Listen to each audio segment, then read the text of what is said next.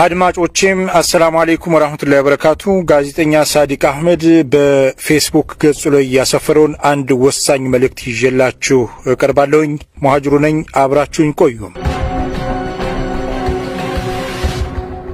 መጅሊስና የብልጽግና መንግስት ችግሩ የሰላም ሚኒስቴር ወይም የቀድሞ የፌዴራል ጉዳዮች ሚኒስቴር አይደለም። የችግሩ ምንጭና መሰረት በታሪክ አጋጣሚ አገርን የመምራት ዕድል ያገኘው የፖለቲካ ኃይል ነው።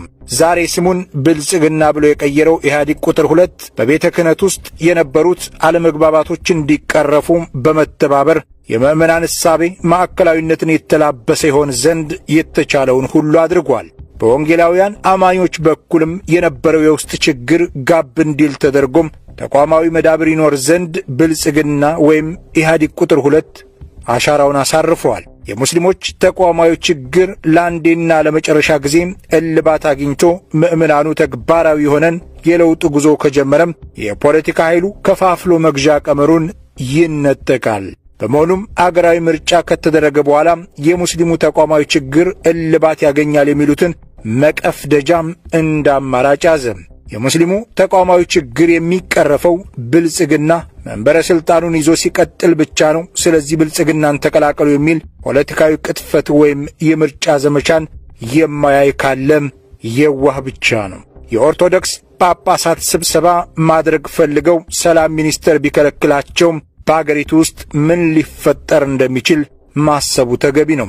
የሀገሪቱ ግማሽ አካል ሙስሊም በሆነባት አገር ውስጥ ሙስሊሙ የራሱ የሆነ አንድ የመሰብሰቢያ አዳራሽ እንኳን የለውም። ሕገ መንግሥት ያረጋገጠውን የመሰብሰብ መብት ለመተግበር ሆቴል ሲከራይ ማዕከላዊ መንግሥቱ ደግሞ ጣልቃ ገብቶ ማደናቀፉ ዛሬም በዘመን አጼዎቹ የነበረው ሁለተኛ ዜግነት የቀጠለ መሆኑን አይነተኛ ማሳያ ነው።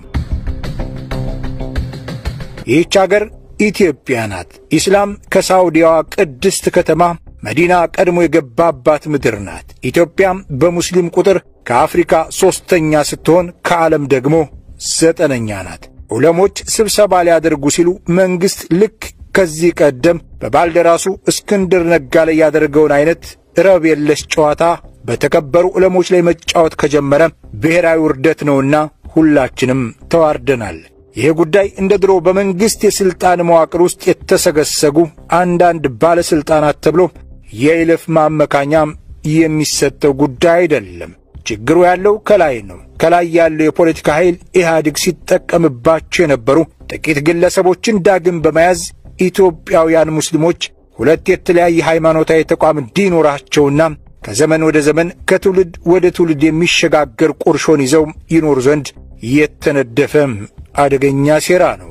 ስለዚህ የመጅሊስ ጉዳይ የሚሆን ኢትዮጵያዊ ሙስሊም ሆኖ በዚች አገር በእኩልነት ለመኖር ፖለቲካዊ ለውጥ ያስፈልጋል። መመራት ብቻ ሳይሆን አገርን መምራት ከታች እስከ ላይ ባለው ቢሮክራሲ ውስጥ መግባቱም ግድ ነው።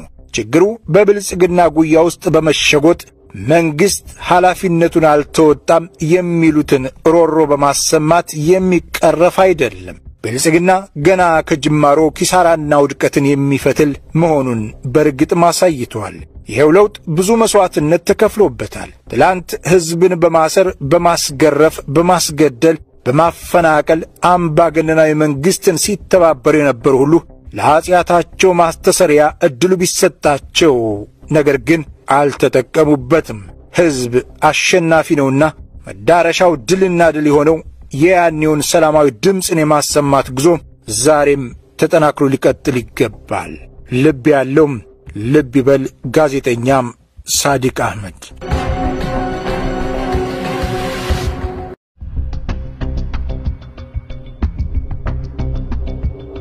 አድማጮቼም አሰላሙ አሌይኩም ወራህመቱላሂ ወበረካቱ። ጋዜጠኛ ሳዲቅ አህመድ በፌስቡክ ገጹ ላይ ያሰፈረውን አንድ ወሳኝ መልእክት ይዤላችሁ እቀርባለሁኝ።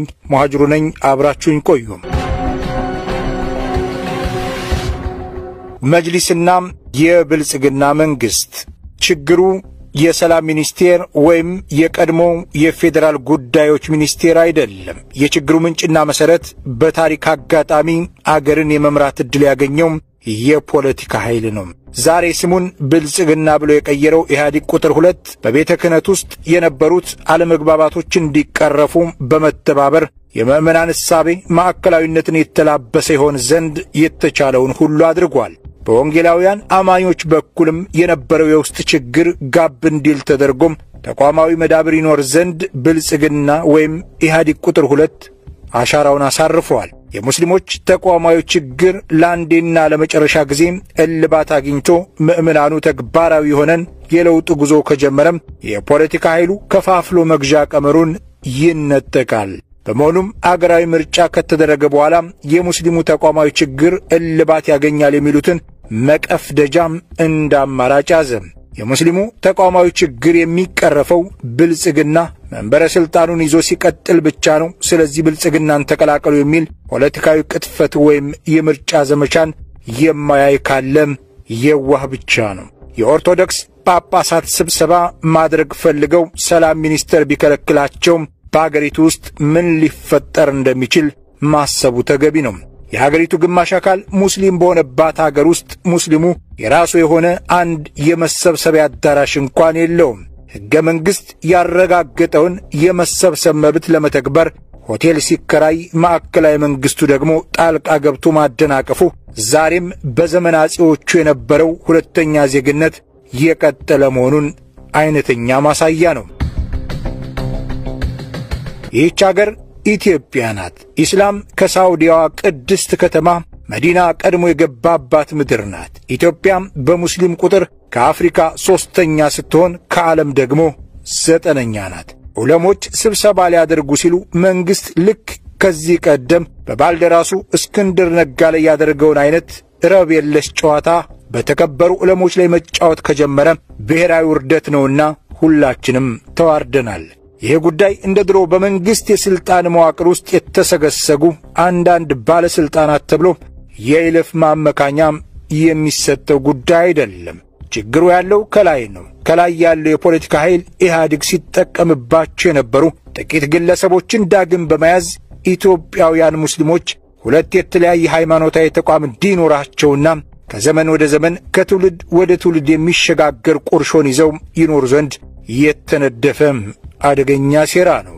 ስለዚህ የመጅሊስ ጉዳይ የሚሆን ኢትዮጵያዊ ሙስሊም ሆኖ በዚህች አገር በእኩልነት ለመኖር ፖለቲካዊ ለውጥ ያስፈልጋል። መመራት ብቻ ሳይሆን አገርን መምራት ከታች እስከ ላይ ባለው ቢሮክራሲ ውስጥ መግባቱም ግድ ነው።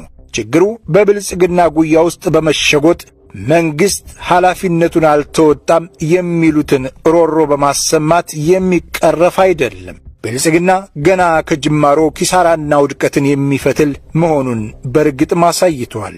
ይኸው ለውጥ ብዙ መሥዋዕትነት ተከፍሎበታል። ትላንት ሕዝብን በማሰር በማስገረፍ፣ በማስገደል፣ በማፈናቀል አምባገነናዊ መንግሥትን ሲተባበሩ የነበሩ ሁሉ ለኀጢአታቸው ማስተሰሪያ ዕድሉ ቢሰጣቸው ነገር ግን አልተጠቀሙበትም። ሕዝብ አሸናፊ ነውና መዳረሻው ድልና ድል የሆነው የያኔውን ሰላማዊ ድምፅን የማሰማት ጉዞ ዛሬም ተጠናክሮ ሊቀጥል ይገባል። ልብ ያለውም ልብ ይበል። ጋዜጠኛም ሳዲቅ አህመድ